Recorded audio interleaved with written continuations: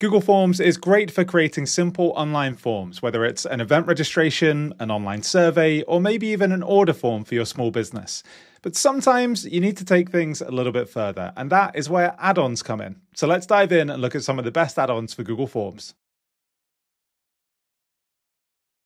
You can create a new Google form by going to forms.new, and here's what you end up with. And for today's example, we're going to imagine that I own a small bakery called The Sweet Spot. And I've got an old paper order form like this, but I want to turn it into the Google form. Let's start with our first add-on today. And by the way, the first few we're looking at are all Jotform add-ons that allow you to do things in Google Forms and take them into Jotform. I'm going to click on the three dots at the top of the screen here, go down to Get Add-ons, and in the search box here, I'm going to type Jotform AI, and we're looking for Jotform's AI Form Builder add-on here. Now, I've already installed this, but you'll see an install button here. And once you've installed it, every add-on that you have will appear under this jigsaw piece icon at the top of the screen here. So I'm going to click AI Form Builder and then choose Open Builder. And it pops up this panel on the right hand side here. And I've got a couple of options. I can import from another file and I can also export all of my questions as well. Now I have that order form in a Google Doc, so I'm going to click on Google Docs here, choose that sweet spot order form and click select. Now to add it over here, I choose get questions and Jotforms AI is going to look at the document and try and identify the questions that it needs to make on the form for me. So we can see it's found five questions. Let's click to see to make sure they're right. It's got customer name, phone number, email, select your items and pickup date required. And it shows me the answer type as well that it's going to use. And I'm happy with those. So I'm going to click the X at the top here here and then just choose import questions back on the panel. And those questions are now going to be added for me to my Google form, which saves me the manual work of copying and pasting from that document. So if I scroll down now, I can see we've got customer name, phone number, email, all the items in a list like that. One thing I do need to do is give the form a name. So I'm going to click and highlight this here and just put sweet spot order form. And I'm going to click up on the top left as well to make sure that the file has a name in my Google Drive. Now, often when people are filling out an order form, they have questions about the process. So I actually have an FAQ document here that has lots of questions. And this is where our next add-on is going to come into play. I'm going to go back to Google Forms. Again, click on the three dots, choose Get Add-ons, and I'm going to search for Jotform Chatbot. And you can see there's an add-on called Forms to Chatbots by Jotform. Again, I've already installed this, but you would click Install.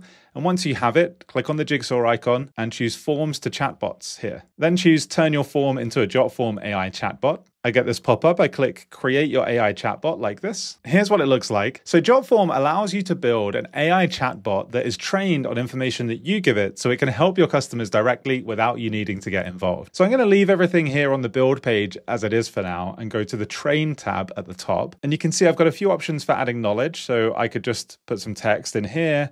I could upload a file like this or even a link to a web page that I already have. So what I'm going to do is copy and paste everything from my Google Doc into here. There's all of the questions and click save. Then I'm going to click this preview toggle on the top right here to give it a test. I'm going to ask a question like, do you do gluten-free treats? There we go, I get an answer. So now if the order form was on my website, I could also have this chatbot embedded in the page and people could ask questions as they go. But this actually leads me onto our next add-on. So I'm gonna go back to my form over here and this time I'm going to click on the three dots, choose Get Add-ons, and I'm going to search for Jotform Mobile. And there's an add-on here called a Mobile App Creator by Jotform.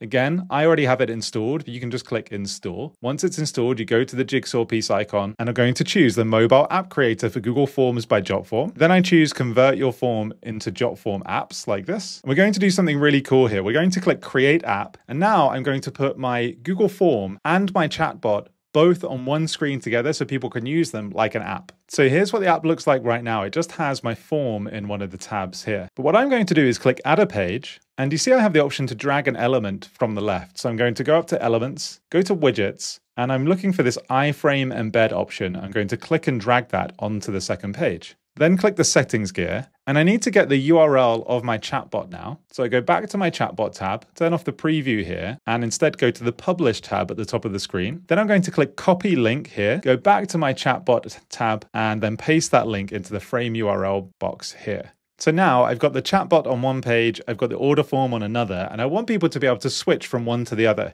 So I'm going to click on navigation settings at the bottom of the screen here, choose enable bottom navigation like this, so we get these buttons. Just going to rename the second page over on the left here by clicking the three dots and choosing rename. I'm going to call it help. And to see what this looks like for people using it now, I'm going to click on publish at the top and I'm going to click the QR code option down here and scan that QR code with my phone. And here's what it looks like. So I've got the whole form like this. And if I need any help, I can just tap help at the bottom of the screen. And I've got the chatbot right here where I could just ask a question if I'm stuck as a customer like we saw earlier. So Jotforms add-ons for Google Forms basically act like an upgrade kit, taking just your form and turning it into something much more, like a mobile app with a chatbot that can help people fill out the form. But if you want to stay strictly inside the Google ecosystem, let's take a look at a few more add-ons that might be helpful when you're using Google Forms.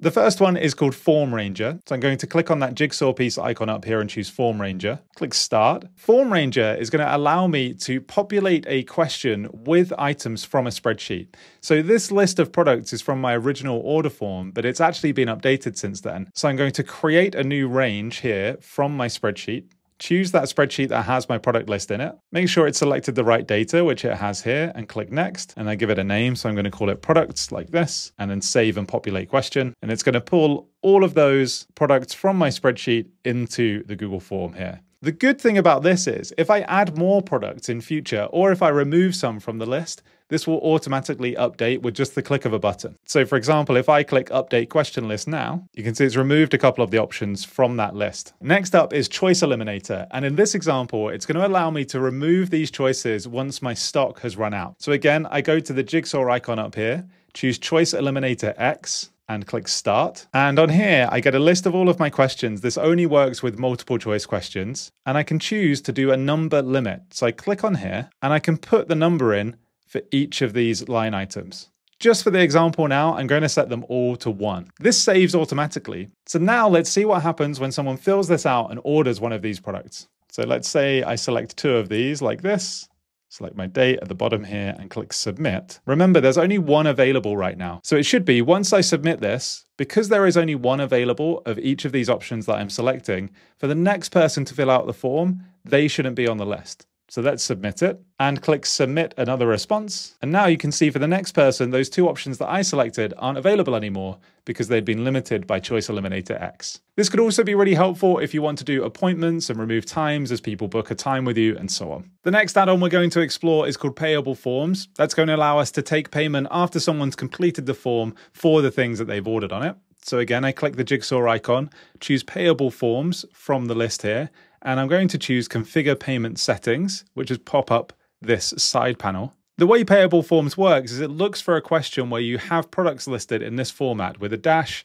followed by a monetary amount. And then once someone submits the form, you either put a link in the submission message or they receive an email. And that will lead them to the payment section of the form that will look something like this, where it lists the products that they've ordered and gives them a chance to put in their details and make payment at the bottom with any payment methods that you set up. The penultimate add-on we're going to look at today allows you to do approvals. So once a form has been submitted, send it to someone for them to approve it, and we can set up a number of steps. So I'm going to click on the jigsaw icon. This one is called Form Approvals. So I click, click Open the add-on, and it's going to pop up the side panel again.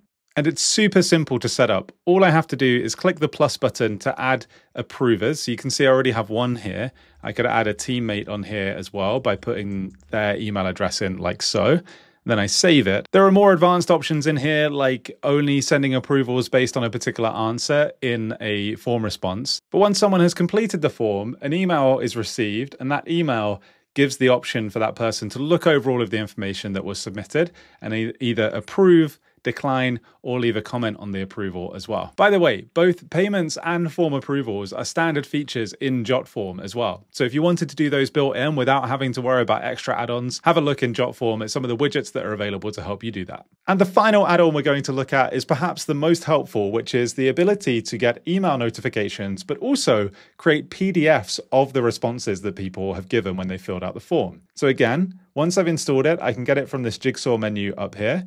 Go to email notifications for Google Forms, choose to open the app, and I'm going to click create at the top right here. And you can see there's a bunch of different options. It could even notify you in Slack or in Discord.